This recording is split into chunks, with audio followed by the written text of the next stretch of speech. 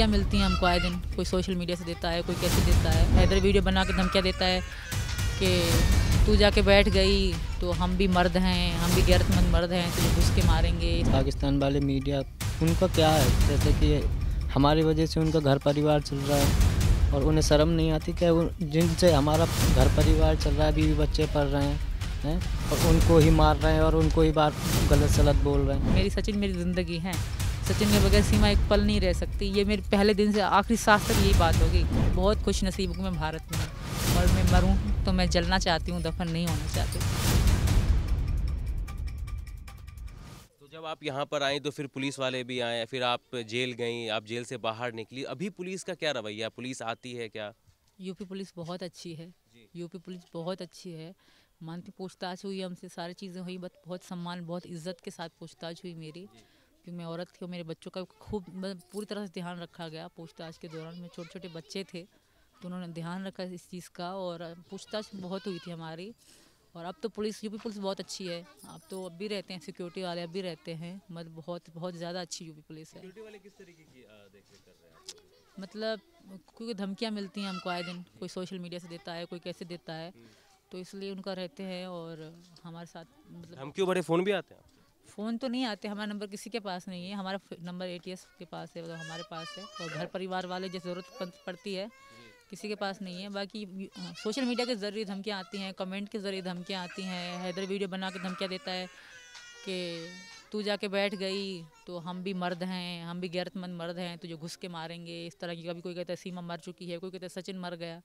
तो इसी हाँ, की इस पर मैं आने वाला था। एक वीडियो बड़ा वायरल हो रहा था कि सचिन की डेथ हो गई है। हाँ किस मैंने भी हम हमारे घर में तो वो दिन बहुत बुरा दिन था। सचिन जी और इत्तेफाक से सचिन उस, उस समय बाहर गए हुए थे। तो जैसे मुझे भी कॉल आ रही छोटे पापा कॉल करेंगे ये न्यूज़ चल रही मैं खुद घबरा गई। तो मैं भागी छत पे सचिन जी यहाँ बैठे हुए थे छत पे।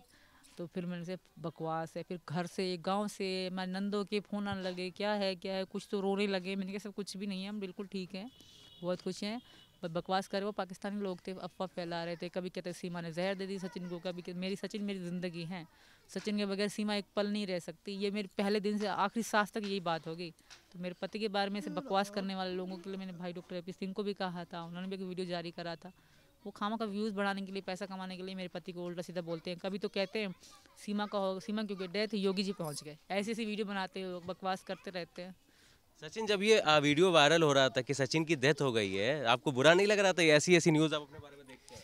जी बिल्कुल बुरा लगा था ऐसी बात नहीं है बिल्कुल बुरा लगा था। और क्या कहते हैं वो पाकिस्तान से ये शायद खबर चली थी। जी पाकिस्तान वाले मीडिया उनका क्या है? जैसे कि हमारी वजह से उनका घर परिवार चल रहा है और उन्हें शर्म नहीं आती क्या जिनसे हमारा घर परिवार चल रहा है बीवी बच्चे पढ़ रहे हैं हैं और उनको ही मार रहे हैं और उनको ही बार गलत सलत बोल रहे हैं।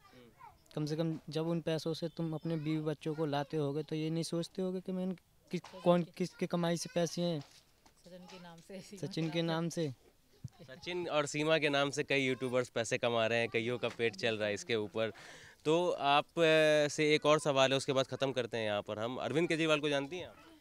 अरविंद। दिल्ली के मुख्यमंत्री अरविंद केजरीवाल। नहीं ज़्यादा नहीं जानते उनके बारे में नहीं नहीं। तो मोदी जी से आप क्या कहना चाहेंगे कि आपको भारत की नागरिकता बहुत जल्द से जल्द मिल जाए और आपकी ज़िंदगी भारत के अंदर ही कटे?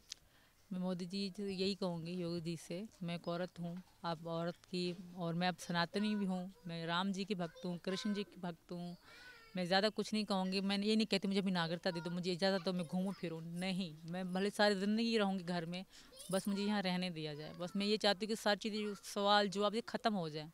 जो लोगों के दिल में, जो सच्चाई है, वो जल्दी से मतलब क्लियर हो जाए। जो कुछ लोग पाकिस्तानी लोग बीच में आप बता रहे थे, कर रहे हैं, रुकावट डाल रहे हैं, वो ख़त्म कर दें। क्योंकि भारत भारत है, भारत में मैं बहुत खुश हूँ, मैं बहुत बहुत खुश नसीब हूँ मैं भारत में हूँ। और मैं मरूँ तो मैं जलना चाहती हूँ, दफन नहीं होना चाहती। चलिए शुक्रिया हमसे बात करने के लिए। आ, तो ये थी हमारे साथ आ, सीमा। आ, आपने सुना कि आप अब आपको आ, जो सोशल मीडिया पे जिस तरीके के सवाल घूम रहे हैं सीमा को लेकर के वो सारे डाउट द न्यूज़ 15 ने आज क्लियर कर दिया हम इसी तरीके की खबरें आपके सामने और भी लाते रहेंगे। कैमरामैन गोविंद के साथ मैं रागिब द न्यूज़ 15 के लिए। शुक्रिया।